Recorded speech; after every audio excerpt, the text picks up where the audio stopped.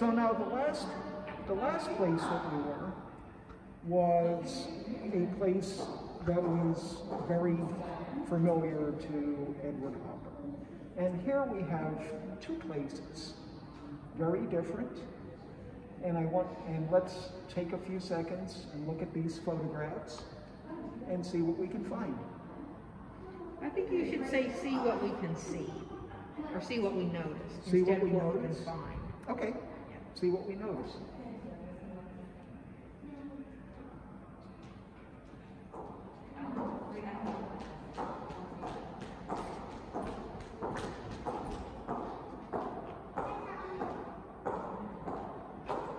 So what do we see going on in these photographs?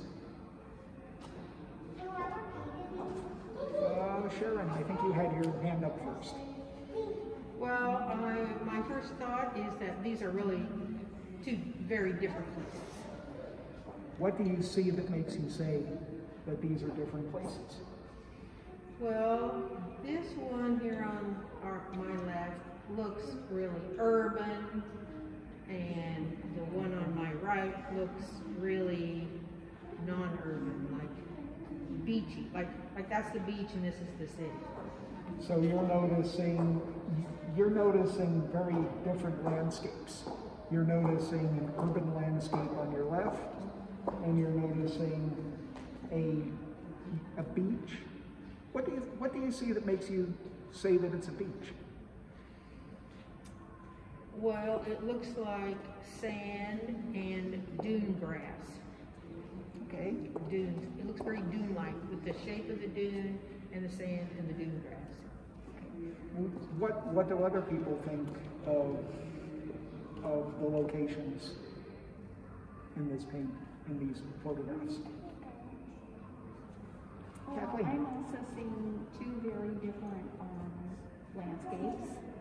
Um, but it seems like the same person uh, is in each landscape. Okay, so you're noticing the person. Can you tell me what you see that makes you think that it's the same person? Well, the sunglasses Okay, look the same, uh, hair looks the same, similar anyway. And there seems to be some consistency in the way the person is dressed, so you're, based on the collar. so you're noticing then his appearance. Yeah, and um, this is the artist. The artist is Shang is and he is a photographer. And these are two photographs that were part of a series called East Meets West. So let's talk a little bit more about about how the uh, the figure in these About what? in these photographs is is dressed. What, what does anything look un, what looks unusual about how this person is dressed?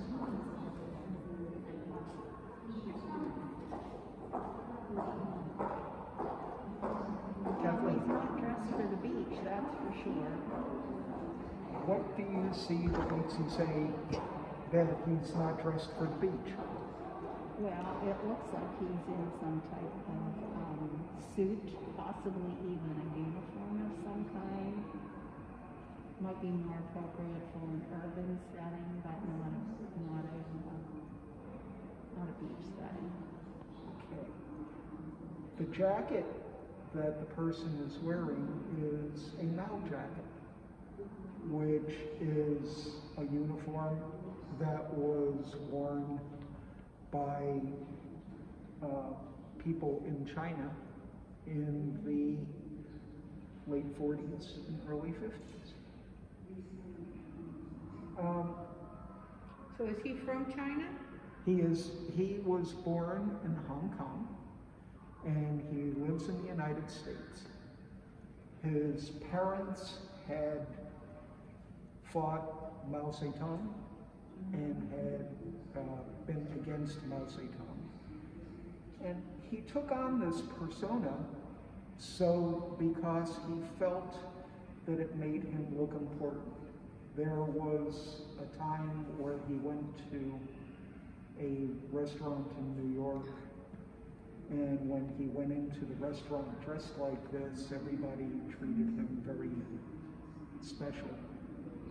So he said, hmm, I think I have a I think I have a persona that I'd like to carry a little bit further. Um, what else are we seeing? What else do we see in these photographs? Merle, I'm wondering why he's doing this. I'm sorry? I'm wondering why he's doing this, putting himself in these places like this. This is a series of photographs that he had done that he wants to um, point out the almost absurdity of uh, people in touristy areas like the one on the left or natural areas like the one on the right. The one on the right is Provincetown, Massachusetts.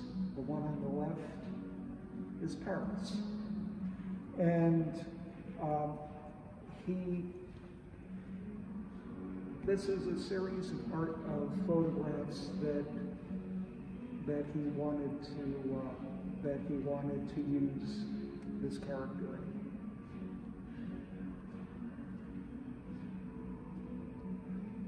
I'm confused because I'm not sure why it would be absurd to be in either one of these places. Well- I mean, they're both could be appealing. Maybe I'm not getting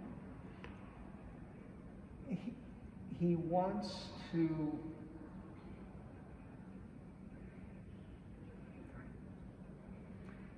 um, my bad. He wants to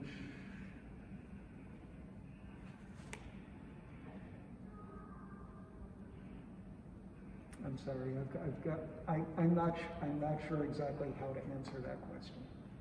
Well, one of the things is you've gotten yourself into that, Yeah. you've backed yourself into a corner. Yes, I did, mm-hmm. and I'm trying to figure out. And you, what do I what do. you should have said when I asked that question is, what do you think might be what he, since, you know, I've asked that question, why, what do you, why do you think he might have put himself in these places?